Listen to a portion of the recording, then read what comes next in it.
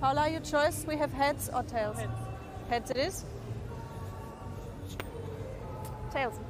Serve. Serve.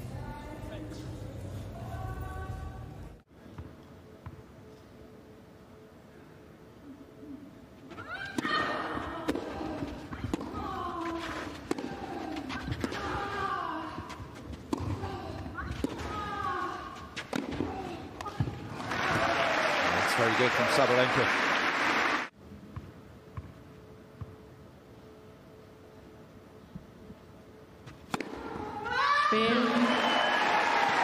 Shade under 40 minutes, and Paula Badosa, who took the lead early in this set, has maintained it all the way through. It's got closer and closer, and this one's far from done and dusted. But the first set goes to Paula Badosa against the number two seed, six games to four.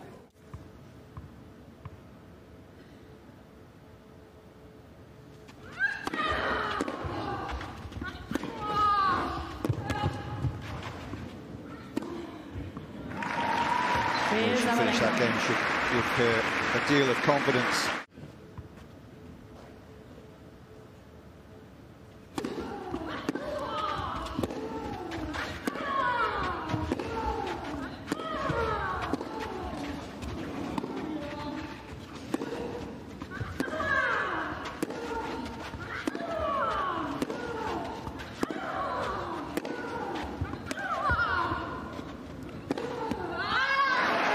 Unbelievable hitting.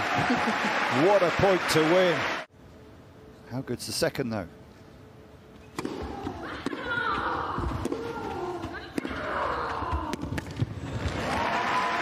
Badosa uh, cannot return it. And from a position of strength and favourite for a semi-final place, the recovery is complete from Aryna Sabalenka. And we head to a final set.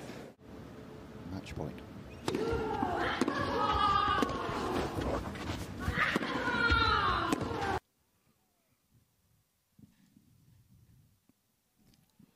Aryna Sabalenka does it. Two and a half hours of court time. Six, four in the decider. Two of the best on the circuit went toe to toe and treated the Stuttgart, uh, Stuttgart crowd to a classic. But it's the girl who's never lost before the final here in Stuttgart who prevails again and was just the stronger overall. 6-4 in the decider. Tina, what a classic. Yeah, what a match it was. We, we knew it was going to be a fantastic contest between two great friends.